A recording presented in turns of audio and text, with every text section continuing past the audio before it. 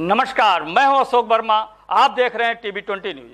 TV twenty news पर खबरों का सिलसिला लगातार जारी है, बने रहिए हमारे साथ। आजमगढ़ ज़िले के सामुदायिक स्वास्थ्य केंद्र अरौला पर कुछ दिनों पूर्व प्रेम सागर मोदनवाल प्रसव के लिए अपनी भाभी सपना मोदनवाल, पत्नी अभिषेक मोदनवाल को प्रसव के लिए लेकर आए। प्रसव के दौरान स्टाफ नर्स द्वारा घोर लापरवाही की गई जिसके बाद में बच्चे की मौत हो गई। इसको लेकर आज मंगलवार को भाजपा नेता प्रेम सागर मोदनवाल धरने पर बैठ गए। मीडिया से बातचीत के दौरान उन्होंने बताया कि स्टाफ नर्स रीता यादव द्वारा हमसे पैसे की मांग की गई। जब हमने पैसा नहीं दिया तो रीता यादव द्वारा घोर लापरवाही की गई और मुझे अपने प्राइवेट अस्पताल में चचा और बच्चा को ले जाने का दबाव बनाया गया। हम लोग चचा बच्चा को उसके प्राइवेट अस्पताल पर नहीं ले गए और फूलपुर स्थित एक प्राइवेट अस्पताल में ले गए। हालाँकि बाद में आजमगढ़ स्थित एक निजी अस्पताल में बच्चे की मौत हो गई जिससे नाराज़ प्रेम सागर मोदनवाल ने उचित अधिकारी शिकायत की लेकिन कई दिन बीत जाने के बाद भी जब कार्रवाई नहीं हुई तो भाजपा नेता प्रेम सागर मोदनवाल अच्छी अच्छी अरेला पर धरने पर बैठ गए। मामले में प्रेम सागर मोदनवाल ने जल्द से जल्द कार्रवाई की मांग की है वह इस मामले में जब सीएमओ इंद्र नारायण तिवारी से बातचीत की गई तो उन्होंने बताया कि मामले की जाँच डिप्टी सीएमओ को सौंपी गई थी। अभी तक उन्होंने रिपोर्ट नहीं दिया है। जाँच रिपोर्ट मिलते ही कार्रवाई की जाएगी। अपना परिचय देते हुए बताइए आज यहाँ पर आप धरना पे हुए थे क्या मामला? हम प्रेम सागर मोदनवाल बाज़ार में मेरा घर है ग्राम मतलूपुर। सत्रह तारीख को भाभी का डिलीवरी था अरोला हॉस्पिटल में हम लोग लाए थे। जो बारह बजे हम लोग भर्ती कर दिए, रीता यादव यहाँ ड्यूटी थी। उन्होंने भर्ती किया, उसके बाद उन्होंने कहा, साकुशल बच्चा पैदा हो जाएगा। तो हम लोग विश्वास में थे, लेकिन उन्होंने विश्वासघात किया। जो बच्चे की थैली थी, वो तीन बजे फट गई। हम लोग ने इनसे कहा कि आप छोड़ दीजिए, अगर आपकी बस की बात हो तो आप करिए, नहीं तो आप छोड़िए। क्योंकि जच्चा बच्चा का सवाल है। तो इन्होंने छोड़ा नहीं, आठ बज गया। पैसे के चक्कर में इन्होंने कहा कि बारह हज़ार रुपये आप तैयार करिए मैं आप प्राइवेट क्लिनिक पे ले चल के ऑपरेशन कर देता हूँ। मैं कहा सर पैसा की व्यवस्था नहीं है आप छोड़ दीजिए हम किसी बड़े हॉस्पिटल में ले जाएँगे। या हिल्ला वाला देते हुए यहाँ भर ज़बरदस्ती इन्होंने रोक लिया ग्लूकोच लगा दिया। उसके बाद हम लोग ज़बरदस्ती यहाँ से निकाले ले गए फूलपुर प्राइवेट हॉस्पिटल में। प्राइवेट हॉस्पिटल में हम लोग ने भर्ती किया बच्चा सकुशल पैदा हुआ। लेकिन बच्चा गंदा पानी पी लिया था। फिर उसको हम लोग रेनबो हॉस्पिटल दीपक पांडे के यहाँ भर्ती किए वहाँ 24 घंटा भर्ती था बच्चा एक्सपायर हो गया। तो क्या मामला है आप क्या मामला है रीता यादव के चक्कर में पैसे चंद पैसों के लिए जिस मानव का सत्तर साल आयु है वह चंद पैसों के लिए रीता यादव ने हमारे भतीजे की जान ले ली नहीं तो आज वो मेरा भतीजा मेरे परिवार में होता। आज मेरे साथ हुआ कल किसी और समाज के साथ होगा। क्या चाहते हैं आप हम न्याय चाहते हैं कि ऐसे अधिकारियों को ऐसे कर्मचारियों को जो विभागीय कार्रवाई हो कार्रवाई करते हुए हम सबको न्याय मिले। अच्छा आप भारतीय जनता पार्टी से संबंधित आप गंथा गमछा भी लिए हैं। जी। तो भारतीय जनता पार्टी में क्या सत्ता में भारतीय जनता पार्टी को रहते हुए भी आपकी सुनवाई नहीं हो रही है? नहीं सुनवाई होगी हमने अवगत कराया था लेकिन अभी तक लीपा पोती जो विभागीय कर्मचारी हैं स्वास्थ्य विभाग के या लीपा पोती करने के चक्कर में लगे हैं। तो आप आप आपने क्योंकि आपकी सरकार है आपकी सरकार होते हुए आपको धरना पे बैठना पड़ रहा है। भाई हमारा अभिभावक आजमगढ़ में नहीं है लेकिन हमने सबको स्पीच पोस्ट करके अवगत कराया था माने मुख्यमंत्री जी को माने पाठक जी को स्वास्थ्य मंत्री को लेकिन अभी तक न्याय नहीं मिला लिपा पोती के चक्कर में। अब क्या बताया जाए? जिला प्रशासन द्वारा जिला प्रशासन और जिला सीएमओ विभाग द्वारा। आजमगढ़ ज़िले के सामुदायिक स्वास्थ्य केंद्र अरौला पर कुछ दिनों पूर्व प्रेम सागर मोदनवाल प्रसव के लिए अपनी भाभी सपना मोदनवाल, पत्नी अभिषेक मोदनवाल को प्रसव के लिए लेकर आए। प्रसव के दौरान स्टाफ नर्स द्वारा घोर लापरवाही की गई, जिसके बाद में बच्चे की मौत हो गई। इसको लेकर आज मंगलवार को भाजपा नेता प्रेम सागर मोदनवाल धरने पर बैठ गए।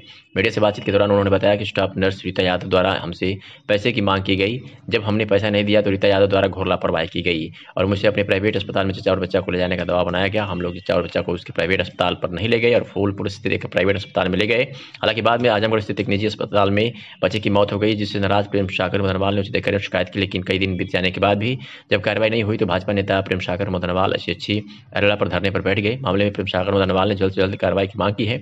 वह इस मामले में जब सीएमओ इंद्र नारायण तिवारी से बातचीत की गई तो उन्होंने बताया कि मामले की जाँच डिप्टी सीएमओ को सौंपी गई थी। अभी तक उन्होंने रिपोर्ट नहीं दिया है। जाँच रिपोर्ट मिलते ही कार्रवाई की जाएगी। अपना परिचय देते हुए बताइए आज यहाँ पर आप धरना पे क्यों हुए थे क्या मामला? हम प्रेम सागर मोदनवाल बाज़ार में मेरा घर है ग्राम मतलूपुर सत्रह तारीख को भाभी का डिलीवरी था अरोला हॉस्पिटल में हम लोग लाए थे। जो बारह बजे हम लोग भर्ती कर दिए रीता यादव यहाँ ड्यूटी थी। उन्होंने भर्ती किया उसके बाद उन्होंने कहा साकुशल बच्चा पैदा हो जाएगा। तो हम लोग विश्वास में थे लेकिन उन्होंने विश्वासघात किया। जो बच्चे की थैली थी वो तीन बजे फट गई। हम लोग ने इनसे कहा कि आप छोड़ दीजिए अगर आपकी बस की बात हो तो आप करिए नहीं तो आप छोड़िए। क्योंकि जच्चा बच्चा का सवाल है। तो इन्होंने छोड़ा नहीं आठ बज गया। पैसे के चक्कर में इन्होंने कहा कि बारह हज़ार रुपये आप तैयार करिए मैं आप प्राइवेट क्लिनिक पे ले चल के ऑपरेशन कर देता हूँ। हम्म, मैं कहा सर पैसा की व्यवस्था नहीं है आप छोड़ दीजिए हम किसी बड़े हॉस्पिटल में ले जाएँगे। या हिल्ला वाला देते हुए यहाँ भर ज़बरदस्ती इन्होंने रोक लिया ग्लूकोच लगा दिया। उसके बाद हम लोग ज़बरदस्ती यहाँ से निकाले ले गए फूलपुर प्राइवेट हॉस्पिटल में। प्राइवेट हॉस्पिटल में हम लोग ने भर्ती किया बच्चा सकुशल पैदा हुआ। लेकिन बच्चा गंदा पानी पी लिया था फिर उसको हम लोग रेनबो हॉस्पिटल दीपक पांडे के यहाँ भर्ती किए वहाँ 24 घंटा भर्ती था बच्चा एक्सपायर हो गया। तो क्या मामला है आप क्या मामला है रीता यादव के चक्कर में पैसे चंद पैसों के लिए जिस मानव का सत्तर साल आयु है वह चंद पैसों के लिए रीता यादव ने हमारे भतीजे की जान ले ली नहीं तो आज वो मेरा भतीजा मेरे परिवार में होता। आज मेरे साथ हुआ कल किसी और समाज के साथ होगा। क्या आप चाहते हैं आप? हम न्याय चाहते हैं कि ऐसे अधिकारियों को ऐसे कर्मचारियों को जो विभागीय कार्रवाई हो कार्रवाई करते हुए हम सबको न्याय मिले।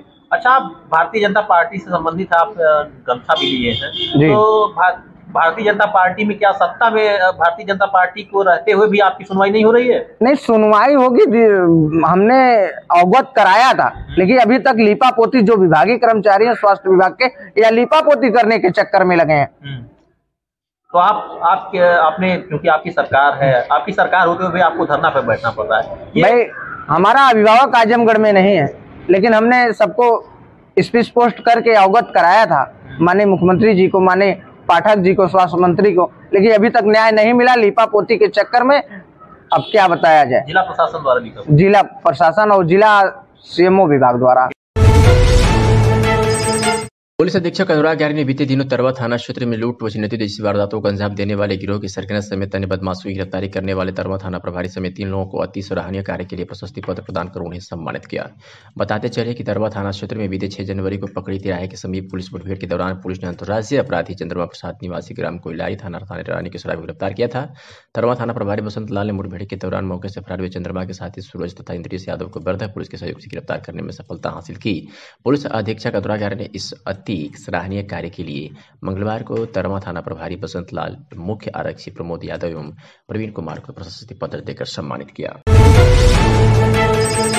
रानी की सराय पुलिस ने किशोरी को अगवा कर दुष्कर्म करने वाला व्यक्ति को गिरफ़्तार किया है। बता दें, घटना को घटना का विवरण बता दें। संक्षिप्त में कि सोलह जनवरी को वादिनी थाना रानी की सराय जनपद आजमगढ़ ने थाना स्थानीय पर शिकायत किया था कि विपक्षी आफ्ताब पुत्र मोहम्मद आमिर निवासी अनौरा थाना थाना रानी की सराय जनपद आजमगढ़ द्वारा वादिनी की पुत्री को बला फसला भगा लिया गया है। इसके साथ दुष्कर्म भी किया इस संबंध में मुकदमा पंजीकृत किया गया और पुलिस आज उसे गिरफ़्तार कर लिया। आजमगढ़ के मुबारकपुर में देशद्रोहात्मक बातों का प्रचार प्रसार करने वाले व्यक्ति के साथ देने वाले की गिरफ्तारी हुई है। इसके संबंध में अपर पुलिस अधीक्षक नगर सुरेंद्र ने जानकारी दी है। सुनिए।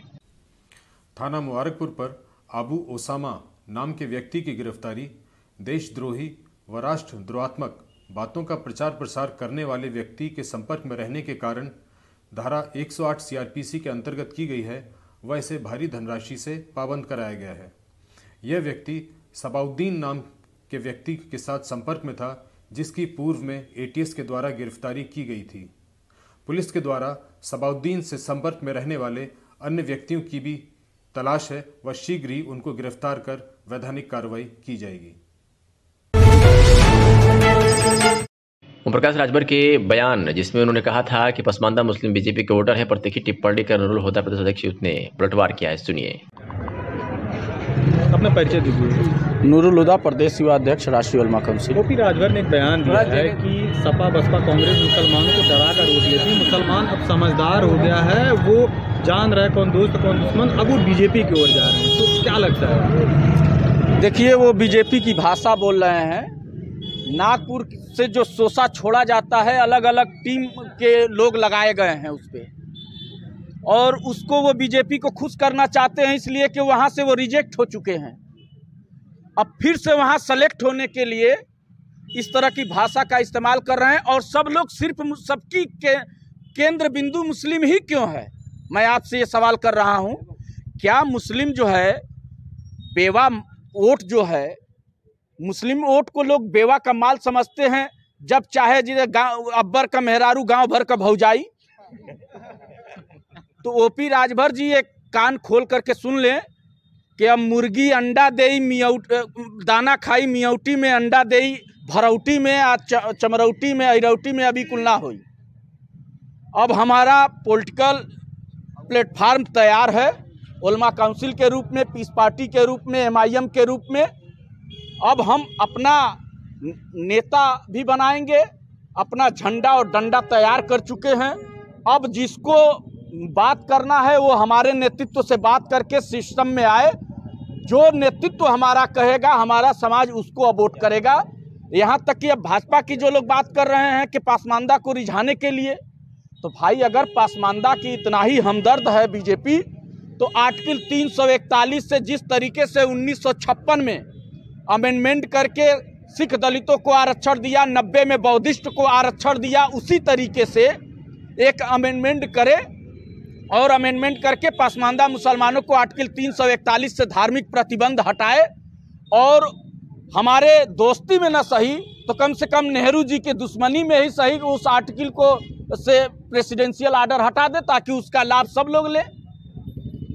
और मुस्लिम समाज का वोट कौन कहाँ जाएगा, ये राजभर जी नहीं तय करेंगे, ये मुस्लिम लीडरशिप तय करेगी।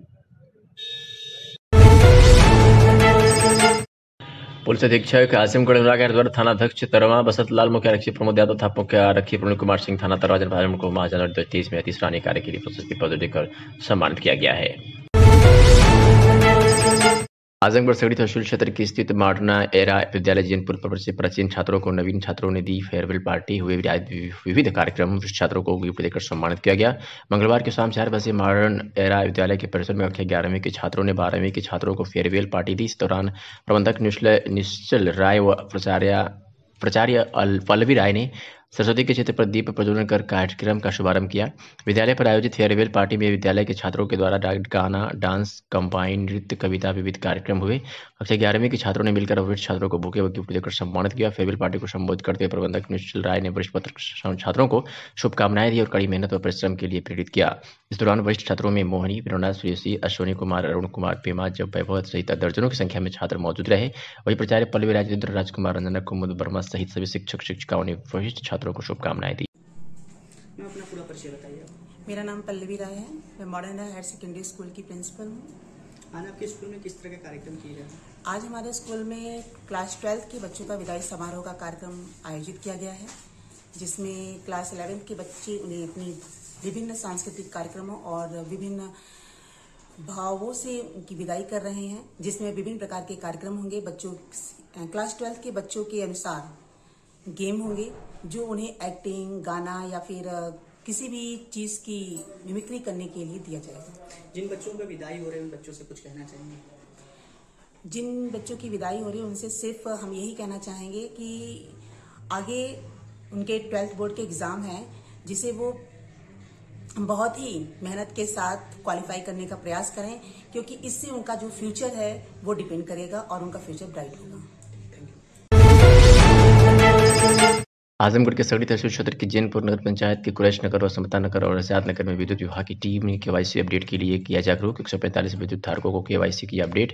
मंगलवार के दिन दो बजे एसडीओ अखिलेश कुमार यादव के नेतृत्व में सचिव अभियंता गोपाल सिंह आकाश गुप्ता ने विद्युत विभाग की टीम के साथ कुरैश नगर, समता नगर, आज़ाद नगर में भ्रमण कर एक फरवरी से पंद्रह फरवरी वर्ष तेईस तक केवाईसी अपडेट के लिए चल रहे अभियान के तहत घर घर प्रत्येक विद्युत कनेक्शन धारी को अपना केवाईसी अपडेट करने के लिए जागरूक किया है।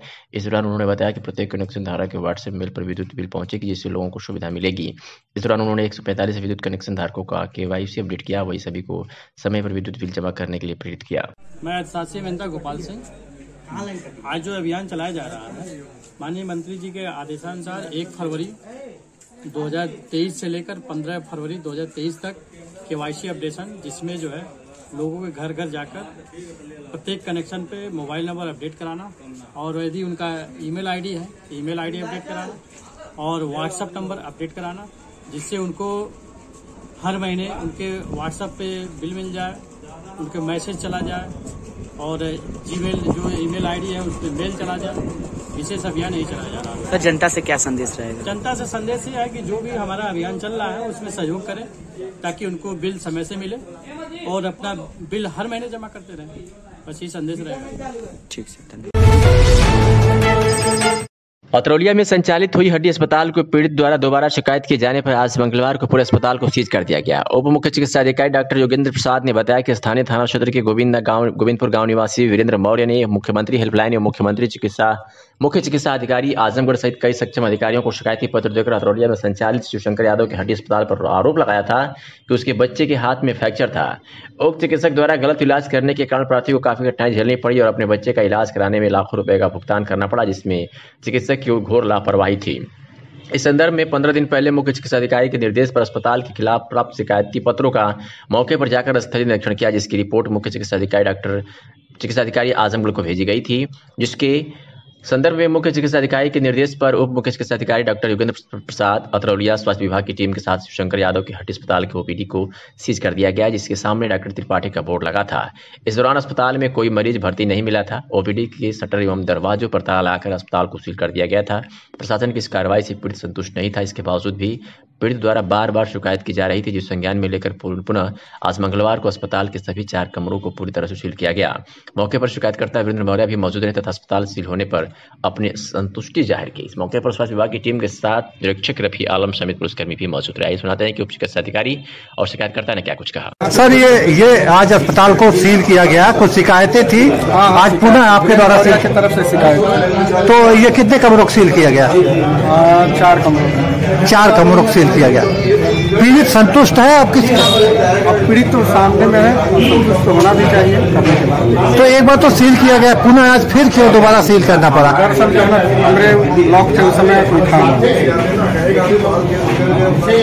वीरेंद्र मौर्य ग्राम पोस्ट गोविंदपुर थाना तरौलिया जिला आजमगढ़। आपकी शिकायत पे आज पुनः एडिशनल सीएमओ यहाँ आए जी, थे। जी। और किन किन कमरों को सील किया? क्या आप संतुष्ट हैं? हाँ हम संतुष्ट हैं। हम चाहते हैं इसी तरह हर एक आदमी के साथ न्याय मिले और इनके न्याय प्रणाली से हम पूरी तरह संतुष्ट हैं और भावी जीवन में हमारे किसी भाई बंधु के साथ ऐसे लापरवाह और बिना डिग्री धारक डॉक्टर किसी के साथ घोर अपराध न करें। ऐसे घोर अपराधियों के बारे में मैं यही कहना चाहूँगा कि इन लोगों के साथ कड़ी से कड़ी सख्त से सख्त कार्रवाई की जाए जिससे कि कितने कमरे सील किए गए आपकी मौजूदगी में? एक दो तीन चार पाँच कमरे और एक गैलरी। ये सील आप संतुष्ट हैं? जी, पूरी तरह से संतुष्ट हैं। आगे की प्रणाली मैं बच्चे को लेकर अभी भुगत रहा हूँ। लखनऊ पीजीआई पर गया था। वहाँ पर डॉक्टर ने भी ये बताया कि अभी बच्चे के हाथ की नस चिपक गई है। उसके लिए मुझे दर दर अभी भटकना पड़ रहा है। मेरे पास आर्थिक तंगी भी हो चुकी है। मैं, मेरे समझ में नहीं आ रहा कि मैं बच्चे का इलाज कैसे, किस भाव से करा पाऊँगा। यही मेरी सबसे बड़ी दिक्कत बड़ी खबर हम आपको आजमगढ़ जनपद की मेहनगर से दिखा रहे हैं, जहाँ राष्ट्रीय खाद्य सुरक्षा अधिनियम दो तेरह योजना के अंतर्गत भारत सरकार द्वारा अंत्योदय तथा पात्र के स्थित कार्ड धारकों को दो रुपये प्रति किलोग्राम की दर से गेहूँ और रुपये तीन प्रति किलोग्राम की दर से चावल का वितरण कराया जा रहा है। राष्ट्रीय खाद्य सुरक्षा अधिनियम दो के अंतर्गत आच्छादित अंत्योदय तथा पात्र गृहस्थी लाभार्थियों की जनवरी दो हज़ार तेईस से आगामी एक वर्ष तक निःशुल्क खाद्यान्न वितरित किए जाने जाने की, कराए जाने की स्थिति में कार्ड धारक राष्ट्रीय खाद्य सुरक्षा अधिनियम दो के अंतर्गत आच्छादित अंत्योदय तथा पात्र गृहस्थी लाभार्थियों को एक जनवरी दो से आगामी एक वर्ष तक उचित विक्रेताओं द्वारा निःशुल्क खाद्यान्न वितरित किया जाना है। उचित दर विक्रेताओं द्वारा एसडीएम वसंत रंजन को बार बार शिकायती मिल शिकायत मिल रही थी कि उचित दर विक्रेताओं को खाद्यान्न की घटतौली व किराए के बराबर मांग की जाती है, जिसे गंभीरता से लेते हुए एसडीएम वसंत रंजन श्रीवास्तव ने मंगलवार को ठेकेदार द्वारा विपणन केंद्र पर उचित दर विक्रेता का खाद्यान्न ट्रक से ट्रैक्टर ट्राली पर उतर उतर रहा था। इसके बाबत ट्रक चालक से पूछा कि खाद्यान्न कम और किराए के लिए उचित दर विक्रेताओं को परेशान करते हो? ट्रक चालक ने उत्तर देते हुए कहा कि खाद्यान्न काटा करके दिया जाता है। रही बात किराए की तो यदि कोई बिचौलिया किराया लेता है तो कोटेदार न दे किराया। आजमगढ़ में हिंदी उर्दू साहित्य मंच द्वारा प्रख्यात साहित्यकार, उत्तर प्रदेश हिंदी संस्थान द्वारा पुरस्कृत जगदीश प्रसाद वर्णवाल को उनकी निजी आवास रेलवे स्टेशन पर साहित्य मंच के संरक्षक, साहित्यकार संजय कुमार पांडे द्वारा सम्मान पत्र मंच के अध्यक्ष सरताज आजमी द्वारा वस्त्र एवं सह मंत्री कवि रोहित राही महेंद्र मृदुल जहीन सिंह हिंद पंकज यादव द्वारा माल्यार्पण कर सम्मान किया गया। इस अवसर पर साहित्य मंच के संरक्षक साहित्यकार संजय कुमार पांडे ने कहा कि साहित्य मंच का उद्देश्य जनपद के उन साहित्यकारों, कवियों का सम्मान करना है, जिन्होंने अपनी लेखनी से जनपद आजमगढ़ का नाम रोशन किया है। शायर ताज हसमी ने देशभक्ति से ओतप्रोत रचना पढ़ी। इसके उपरांत महेंद्र मृदुल, जय हिंद सिंह, हिंद, रोहित राही ने अपनी कविता सुनाकर माहौल को खुशनुमा बना दिया। अपने सम्मान से विभूत प्रख्यात साहित्यकार जगदीश प्रसाद बर्नवाल ने कहा। कि साहित्य मंच ने जो हमारा सम्मान किया, इसके प्रति मैं आभार प्रकट करता हूँ। उन्होंने अपनी रचना नहीं पढ़ी। इस अवसर पर प्रभात बर्नवाल पंकज यादव, मनोज पांडे आदि लोग उपस्थित रहे। वही टूटा हुआ दर्पण बराबर याद आता है और उदासी और आँसू का स्वयंवर याद आता है। और महल से जब सवालों के सही उत्तर नहीं मिलते मुझे वह गाँव का भीगा हुआ घर याद आ रहा है। तो हकीकत बात है कि जो गाँव में प्रेम था जो पुराना घर था रोहित जी कह रहे थे जो है मिट्टी का घर था। और उसमें चटनी चावल जो जो है हम लोग खाते थे जो है जो। उसमें एक मिठास थी। आज वो नहीं मिल रही हम लोग आज धन्य है। व्यंग लिखा था क्योंकि आज जो है बेरोजगारी जो है जो जनसंख्या वृद्धि जिस हिसाब से हो रही है यह एक चिंता का विषय है। उस पर मैंने लिखा था कि आज हम भूख और बेरोजगारी से बेकार बैठे हैं। आज हम भूख और बेरोजगारी से बेकार बैठे हैं। उधर बच्चे जन्म लेने के लिए तैयार आज हम भूख और बेरोजगारी से बेकार बैठे हैं। उधर बच्चे जन्म लेने के लिए तैयार बैठे हैं। कौन बचाएगा इस देश को जब रक्षक ही भक्षक बन जाए? हमारी संसद में कितने कत्लों की जिम्मेदार बैठे दफन हो रही देश की इज़्ज़त एक ऐसी अनहोनी है। दफन हो रही देश की इज़्ज़त एक ऐसी अनहोनी है। एक अबला को लूट लेने के लुटेरे बेशुमार बैठे हैं। आज लूट का जमाना है। कहीं वोटों की लूट तो कहीं नोटों की लूट। जिधर आप जाएँगे लोग बेबस और लाचार बैठे हैं। और देखिए इस कदर खौफनाक जमाना आ गया संजय। मंदिरों में भी मौत और आतंक के खरीदार जो आपने सम्मान दिया है जो उनका प्रोत्साहन बढ़ाने का काम किया है और आज भी आपकी इच्छा रहती है जो हमारे आजमगढ़ के कवि शायर हैं उनको प्रोत्साहन दिया जाए उनको मंच दिया जाए। तो चाचा जी के लिए किसी कवि की मुझको पंक्तियाँ याद आ रही है। ऐसे विद्वान मनीषी सर्विस में रहते हुए भी आपने जो साहित्य को एक नई दिशा दिया आजमगढ़ को। बिल्कुल बिल्कुल। आज मेरी पवन जी से आदरणीय पवन जी से भेंट हुई चाचा जी से मुलाकात उस दिन हुई थी। लाट घाट हम लोग गए थे। अच्छा अच्छा अच्छा। तो वह साहिब की पंक्तियाँ चाचा जी के ऊपर सटीक बैठती है कि जब तबीयत उदास रहती है तो आँखों में एक प्यास रहती है। जब तबीयत उदास रहती है तो आँखों में एक प्यास रहती है और भीड़ में भी रहकर भीड़ में भी रहकर काम करने वालों की तलाश कौन साहित्य के लिए काम कर रहा है? तो मैं चाचा जी के बड़े ही अदब के साथ मैं आपसे गुजारिश कर रहा हूँ कि आप आशीर्वचन आशीर्वचन अपना देंगे हिंदी उर्दू साहित्य मंच ताकि आपका आशीर्वाद मिलेगा। तो यह मंच निरंतर प्रगति की ओर जाएगा। मैं चाहूँगा चाचा अपना आशीर्वचन दें। ऊंचाई की ओर जाएगा। बहुत अच्छा लगा। को सम्मानित किया। मैं इसके लिए आप सभी लोगों का आभारी हूँ। यहाँ भाई ताज आदमी बैठे हैं जयंत सिंह बैठे हैं महेंद्र सिंह मिदुल हैं रोहित हैं और आप यादव जी हैं। तो बड़ा अच्छा लगा आप लोगों ने काव्य पाठ भी किया और मैं तो यही कहूँगा कि भविष्य में भी अच्छी कविताएँ लिखें और इसके इसके साथ साथ कुछ गद्य की ओर भी उन्मुख हों लघु कथा है कहानियाँ हैं कुछ और कार्य करें जिससे जनपद स्थानीय स्तर पर आप न बने बल्कि प्रदेश स्तर पर राष्ट्रीय स्तर पर आप का नाम गूंजे। हिंदी और उर्दू दोनों क्षेत्र में देखें आजमगढ़ का बहुत बड़ा योगदान रहा है। मैंने अपनी पुस्तक में हिंदी के साहित्यकारों पर भी प्रकाश डाला है उर्दू के भी साहित्यकारों पर प्रकाश डाला है। शिवली साहब यहाँ बहुत बड़े विद्वान हुए हैं। कैफी साहब यहाँ के थे ही। एहतेशाम हुसैन साहब गद्य में पारंगत थे हिंदी उर्दू साहित्य का इतिहास उनका जो लिखा हुआ है। आज जो है वो एक आधार ग्रंथ है समझ लें। तो खलीलुर रहमान आजमी एक बहुत बड़ा नाम रहा है यहाँ का। अभी मेरे यहाँ परसों चौथे दिन आए थे डॉक्टर अलाउद्दीन दिल्ली कॉलेज में हिस्ट्री के प्रोफेसर हैं। तो उनसे मेरी चर्चा हुई उर्दू साहित्य के बारे में। तो आजमगढ़ का गढ़ का उर्दू साहित्य जो है बड़ा ही समृद्ध साहित्य है।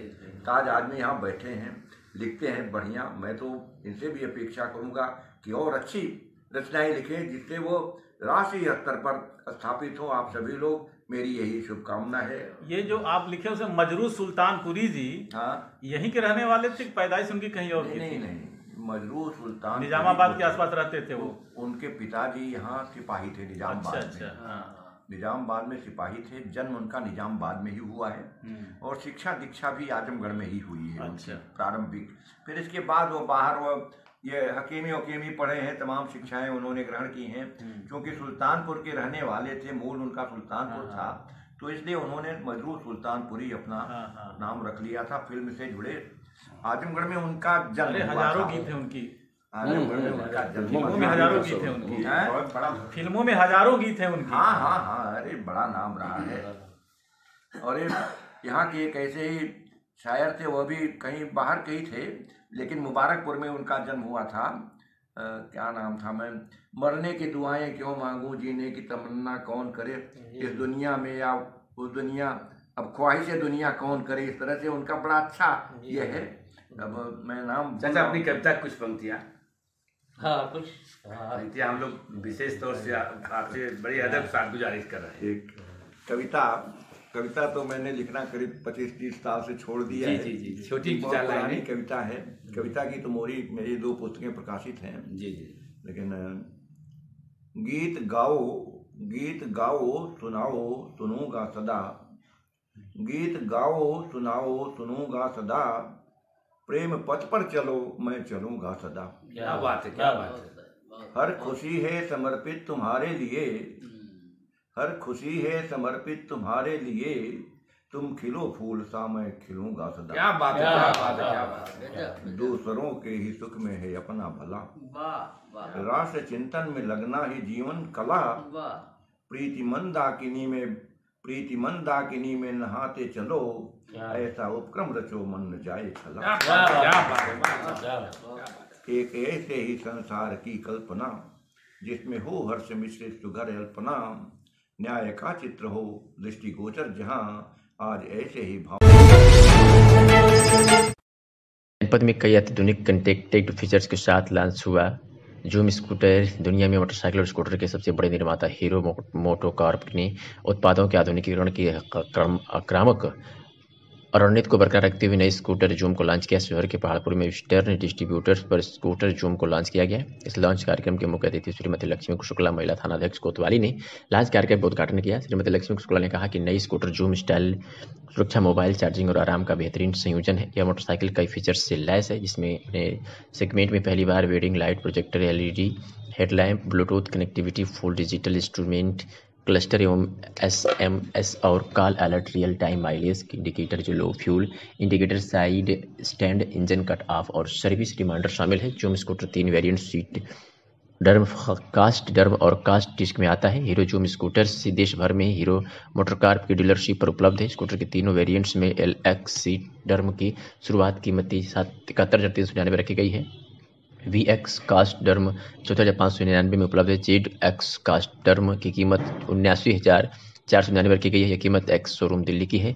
इस मौके पर ईस्टर्न डिस्ट्रीब्यूटर्स के मालिक Khalid Nazir manager Rahmatullah Khan, Hero MotoCorp की टेरिटरी मैनेजर आरिफ निजामी और अन्य स्टाफ मौजूद रहे। तो सबसे पहले हमारी special guest Lakshmi Shukla ma'am और इनके स्टाफ का मैं स्वागत करता हूँ यहाँ पे। साथ ही हमारी company order mister Khalid sir manager Rahmatullah Khan और अपने और स्टाफ का स्वागत करता हूँ। हीरो द्वारा 110 सीसी सेगमेंट में जूम स्कूटर के साथ। तो स्टार्ट करते हैं। गर्ल्स के लिए बहुत अच्छी थी और स्कूटर बनाया है। ये जूम स्कूटर है और इसकी जो साइलेंट ये जूम स्कूटर है, इसका सबसे खास बात जो है, देखिए यहाँ पे एक लाइट दिया हुआ है जो आज तक स्कूटर में आई नहीं इस लाइट का मतलब क्या है? जैसे गाड़ी टर्न करती है तो इंडिकेटर हम देते हैं गाड़ी घुमाने के लिए। ये लाइट उसको कॉर्नर बेंडिंग लाइट ये फ़र्स्ट इन सेगमेंट आज तक किसी गाड़ी में बन के आया नहीं था। जिस तरफ़ गाड़ी घुमाएँगे, उस तरफ़ लाइट अपने आप खबर भदोही ज़िले से है जहाँ नगर के आसपास क्षेत्र में चोरी उचक्का की घटनाएँ दिन पर दिन बढ़ती जा रही है। इसी कड़ी में एक बार फिर गोपीगंज नगर के काली महाल स्थित हनुमानगढ़ी मंदिर में लगा दान पेटी का ताला तोड़कर अज्ञात चोरों ने हज़ार रुपये उड़ा दिया। बताया जाता है कि इसके पूर्व भी हनुमानगढ़ी मंदिर की दान पेटी से चोरी हुई थी, जिसका खुलासा आज तक पुलिस नहीं कर सकी। बताया जा रहा है कि हनुमानगढ़ी तालाब परिसर में स्थित मंदिर के सामने लगा दान पेटी का ताला तोड़कर जहाँ चोरों ने हज़ारों रुपये उड़ा दिए, वहीं बगल में शनिदेव के मंदिर के भी दान पेटी का ताला तोड़ने का प्रयास चोरों द्वारा किया गया, जो सफल नहीं हुआ। इन दिनों नगर में चोरी का सिलसिला जारी है। दो दिन पूर्व अनूप जायसवाल की बाइक चोरी हो गई थी। इसी तरह वार्ड नंबर बारह से मारुति कार सवार चोरों ने आधी रात को बकरी चोरी कर लिया, जो घटना सीसीटीवी में कैद हो गया इस चोरी की भी चर्चा नगर में बनी हुई है। हनुमानगढ़ी कमेटी के जगदीश्वर जायसवाल, कवि मदनवाल, संजय साहू, सूरज पंडा, प्रदीप मोगिया, अजय गुप्ता पिंडू सहित लोगों ने पुलिस की कार्यप्रणाली से नाराज़गी ज़ाहिर करते हुए प्रदर्शन कर पुलिस अधीक्षक से मांग की तत्काल पुलिस गश्त बढ़ाने के साथ मंदिरों की सुरक्षा का पुख्ता किया जाए।